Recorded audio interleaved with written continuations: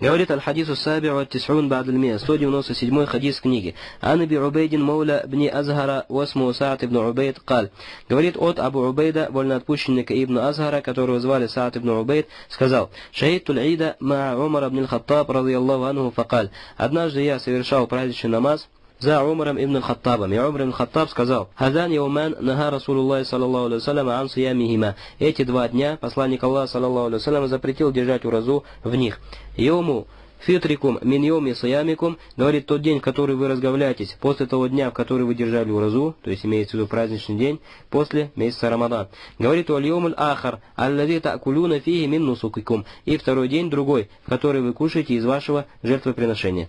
То есть это хадис у Бухари и Муслима. Умар ибн Хаттаб этим самым что сделал? Разъяснил, разъяснил мудрость. Почему запрещено держать уразу в день разговения и в день жертвоприношения? День разговения почему держать запрещено уразу? Потому что этим днем ты как бы показываешь тем, что это этим днем закончилось э, ураза месяца Рамадана. А если ты тоже в нем будешь держать уразу, будет это непонятно. А что касается дня жертвоприношения, то этот день специально выделен для еды и питья. То есть в этот день люди приносят жертвоприношение. Если бы люди держали в этот день уразу, то какая польза была бы вот жертвоприношения? Говорит Альман аль говорит, какой общий смысл этого хадиса. Аидуль фитр у аидун нахр хумаль айдан аль-исламиян. Говорит, день разговления и день жертвоприношения являются двумя исламскими праздниками. Алладани джа'алахума ашари аль-хаким аль-карим яумей фарах ва сурур, которые наш законодатель мудрый установил как два дня ликования и радости. Вабахджа ва хубур Бахджи это как великолепие, тоже как радость, и хубур тоже радость, ликование. То есть все эти слова являются чем? Являются синонимами.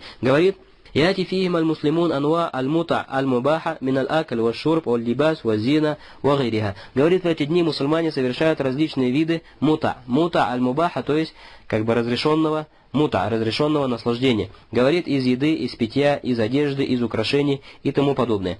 Вакат хуррима саумахума. Поэтому, говорит, эти два дня являются запрещенными. Еще почему? Лянна фитра гуа тахлиль ассуям. Потому что день разговения это завершение уразы. Кассалям ли сала. Подобно саляму после намаза.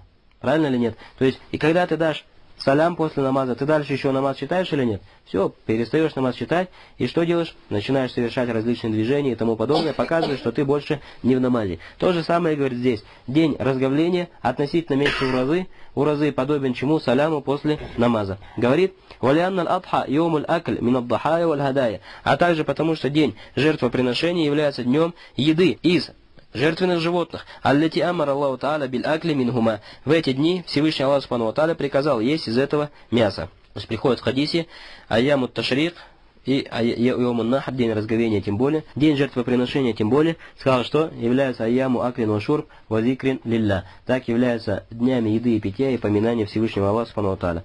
Говорит нам, какая разница между Адха и между Хади? Кто скажет? Сказано Бахая валь Хадая. Нужно кушать в эти дни из мяса Бахая из мяса хадая. Бахая это... Хади это... Хади это то, что отправлено куда? Отправлено к Кабе. А абха это что такое? Это животное, которое зарезано в день жертвоприношения. Говорит фальхал фиазейни лиумейн алдияфун адияфуллах. Говорит, все люди в эти два дня являются гостями Всевышнего Аллаха, фальякбалю дияфатаху, поэтому необходимо принять его гостеприимство, уальюфтыру фигима, и разговиться в эти два дня. Май охаду мин хадис. Говорит, что берется из этого хадиса. Первое тахрим, сом, яумей альфитр вал адха. Запрещено сдержать уразу в два дня, то есть день разговения в день жертвоприношения. И этот запрет является строгим, то есть не просто нежелательность, но запрещено. Второе, а если человек дал обед держать уразу, допустим, в четверг, и так получилось, что четверг пришелся на праздничный день или на день разговения, совершает уразу или нет по обету? Да, в этот день э, не совершает уразу, что Э, почему? Потому что такой обед является недействительным. Тайп. И возмещать его тоже не является обязательным. Далее. Инна сома фихима ла янакит. Видишь, ураза в эти два дня вообще не является янакит, не является какой? Начатой. То есть, если человек ее начнет, то она не начинается, как бы, не вступает в свои права. Фаля ясух. Поэтому не является действительной, если человек ее продолжит и совершит. Сава кана ли каба, ау нафиль, ау назар. Без разницы, Почему он держит уразу в этот день? Возмещает вот этим самым уразу дне Рамадана, или он делает это как нафаль, то есть добровольного ураза, или по обету. В любом случае, эта ураза является недействительной. Таиб. Третье. Хикматун нахи ансоумихима. В этом хадисе указание на причину или мудрость запрета держать уразу в эти два дня. Ма ашара илей филь хадис. В этом указано в хадисе. Мин анна ид аль фитр гуа льем аллази интаха бидухули шахр Рамабан. В нем приходит указание, что праздничный день разговления – это такой день, которым завершился месяц Рамадан.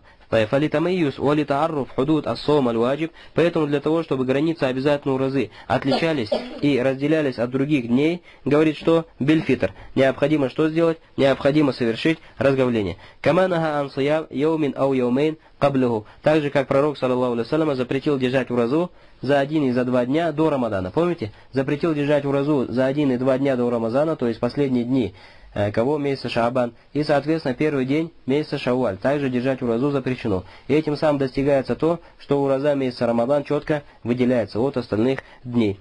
Говорит, тамизан лагу ангейри. Видишь, для отличия этого месяца от других дней. Уамаль абха, а почему держать уразу в день разговления, а нам день жертвоприношения запрещено? Фалианну нусук, аллази амара бил акле мингу, или умира акле мин, потому что это день жертвоприношений которые приказано кушать. Фалюбадир или амтисаль амрихи, поэтому человек должен стремиться выполнить этот приказ. Биттанауль мин таибат орискихи, чтобы и должен употребить из благой пищи от Всевышнего Аллаха Субхану его удела. Фалейса миналь адаб валлияка аль-ирад ам карим. И является чем? Не является проявлением твоего нрава, валлияка, и не годится отворачиваться от гостеприимства щедрого, то есть от гостеприимства Всевышнего Аллаха Субхану И последнее, четвертое, инну юстахав лиль хатиб ан юзаккира фи худбатихи ма ятааллак биwaqtihi мин аль-ахкам или ан язкура. Так, то есть желательно хатыбу, то есть тому, кто делает худбу в праздничный день, желательно ему напомнить некоторые постановления, которые касаются с этими днями. это харра аль-мунасабат. И вообще,